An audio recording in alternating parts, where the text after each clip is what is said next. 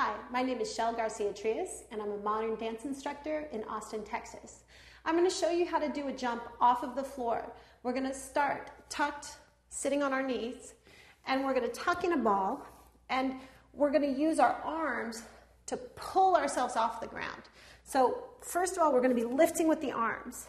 Then we're also going to be lifting with the legs. I'm going to be pushing off of my toes, and I'm going to use my stomach to bring myself onto my feet. So it looks like this. It's a little bit tricky, so don't be discouraged if you can't do it right away. Just try it again. You might want to try it on the carpet, but be careful because you might get a little brush burn on your feet. Um, you probably get a brush burn even if you're doing it on a hardwood floor or concrete like here. So again, you're tucked, you're tucked, you're going to lift up with your arms, and you're going to lift up with your stomach and slide your legs forward.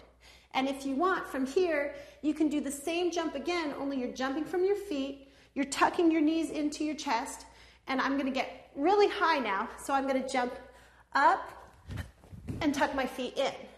And that'll bring you all the way up to standing.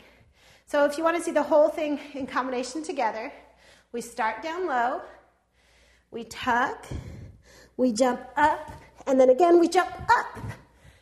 So that's a nice little combination of two little tucks where we're jumping off of the floor.